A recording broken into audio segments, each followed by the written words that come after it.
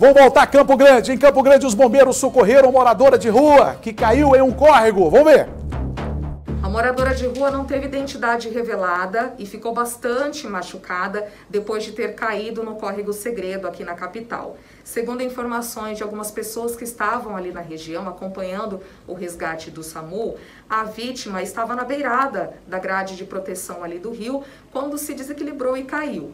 Na queda, ela teve vários ferimentos, inclusive ficou com o rosto bastante machucado e uma das pernas, a perna direita, sofreu uma fratura. O serviço de atendimento móvel de urgência acompanhou, fez o resgate dessa vítima.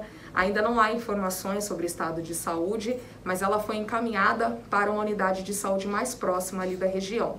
E outra situação que aconteceu foi no bairro Los Angeles, também aqui na capital. Uma mulher de 44 anos foi mais uma vítima de agressões pelo ex-marido. Essa situação aconteceu na noite de ontem aqui na capital e segundo informações da Delegacia de Atendimento e Especializado à Mulher, a vítima já tinha pedido medidas restritivas. Ela está na delegacia prestando atendimento nesse momento, aliás, prestando depoimento neste momento.